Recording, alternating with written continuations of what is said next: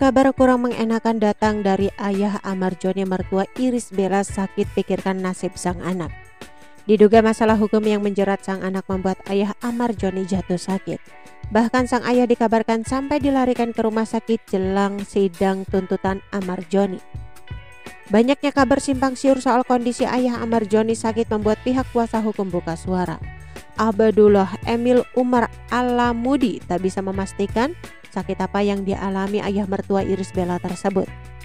Dia belum bisa memastikan apakah benar ayah Joni sakit sampai harus dilarikan ke rumah sakit. Wah saya kurang tahu, yang jelas ada keluhan lah sampai dibawa ke rumah sakit. Kata Abdullah Emil yang ditemui di Pengadilan Negeri Jakarta Selatan pada Kamis.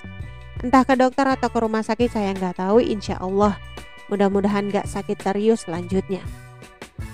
Namun ada kemungkinan bahwa ayah dari kliennya itu mengalami stres. Cuma ya mungkin yang jelas bapak mungkin stres ya terang kuasa hukum Amar Joni. Ya pasti dia kepikiran anaknya lah lanjutnya. Meskipun demikian kuasa hukum Amar Joni berharap ayah dari kliennya tak mengalami masalah kesehatan yang serius. Mudah-mudahan gak terjadi apa-apa tutupnya. Sebelumnya Marjoni mengaku semua ini karena kelakuan sopirnya yang lebih dulu mengkonsumsi barang haram. Saat menjalani sidang lanjutan kasus penyalahgunaan dan kepemilikan narkoba di Pengadilan Negeri Jakarta Selatan pada Kamis, Amarjoni mengungkapkan fakta baru. Dijelaskan Amarjoni jika dia mengaku salah karena pakai narkoba.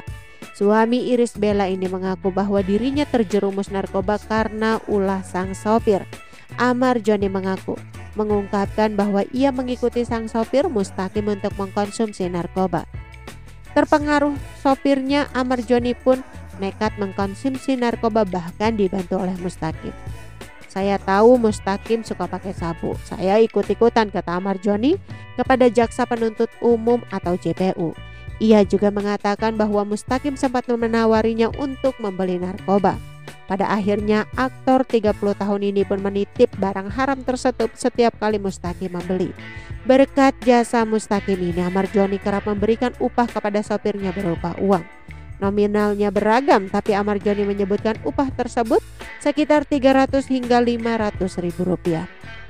Gak tentu nominalnya kadang 500 kadang 300 beberam.